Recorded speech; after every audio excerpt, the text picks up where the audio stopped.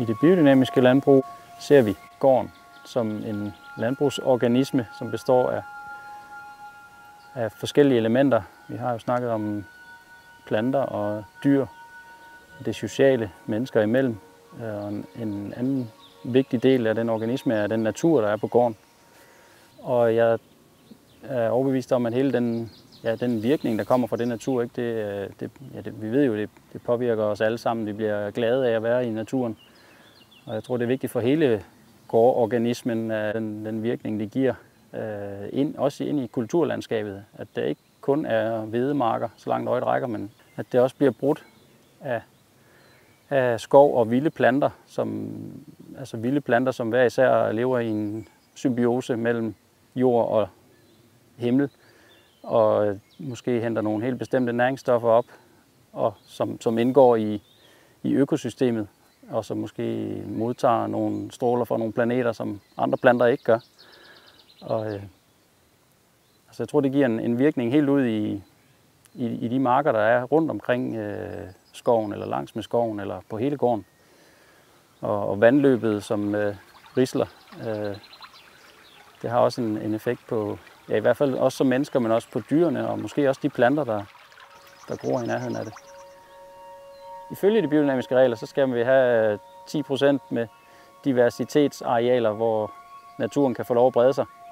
Og det øh, har vi jo helt naturligt her på gården. Vi behøver ikke at, øh, overhovedet at anstrenge os for at, at få mere. Her er vi jo så ved en af, af de sådan naturlige øh, oaser på gården, øh, som ikke kan opdyrkes. Så, øh, så her behøver vi slet ikke at, at spekulere på, om vi skal om vi skal have kultur, fordi der er natur helt automatisk. Øh, og det er jeg rigtig glad for, at der er sådan nogle steder på gården, hvor det, hvor det kommer ind helt af sig selv, hvor der er plads til vildtet.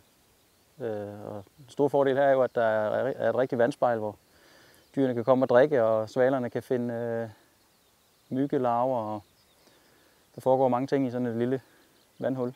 I hvert fald øh, nyder vi jo i det, i det daglige arbejde for eksempel. Altså jeg gør, men jeg tror også øh, andre, alle os, som arbejder på stedet. Ikke? Altså for eksempel at køre og vende hø på den her mark er en meget stor oplevelse for mig, hvor, hvor jeg kan se skoven og høre lydene og øh, følge med i, i naturen her og dufte høet, og jeg kan se gården øh, i baggrunden.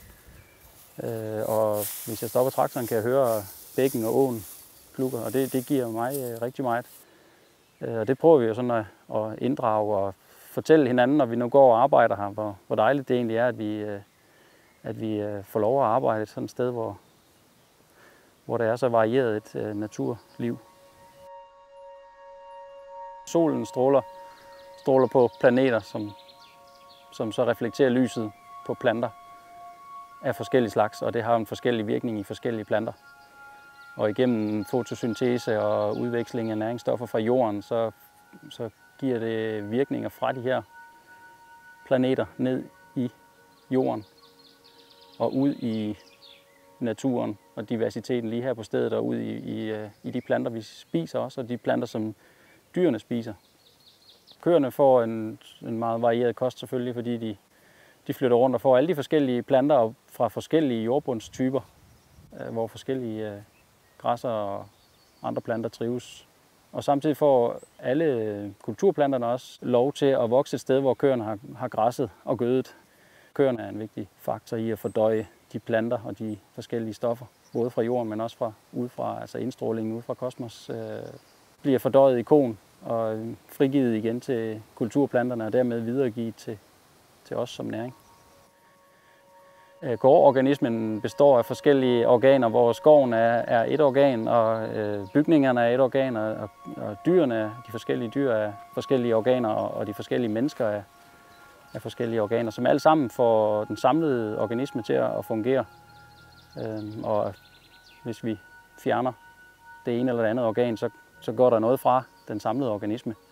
Så man kan sige, at vi er, vi er ikke interesseret i, at vores øh, gårdorganisme skal være en, en lukket enhed eller en lukket kreds, men vi vil gerne øh, have, have udveksling af, af forskellige ting, altså øh, fødevarer selvfølgelig ud, men også øh, sociale input fra det øvrige samfund, og vi vil gerne have hjælp til arbejdet på gården fra det omkringliggende samfund.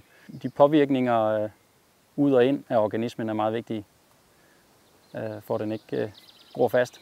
Den mest fremherskende øh, tankegang, som vi driver landbrug efter i Danmark og i hele Vesten, øh, er meget en, en linær produktion med, med input af næringsstoffer og energi i den ene ende, og så kommer der et, øh, et, et produkt ud i den anden ende, sådan en, en industritanke måske, hvor vi gerne vil prøve at lave et lukket kredsløbslandbrug, øh, hvor vi med solen og jorden og, og mennesker, dyr, planter, øh, genererer et overskud igennem fotosyntese og luft, som, øh, som kan skabe noget, der kan, der kan bidrage til, til samfundet.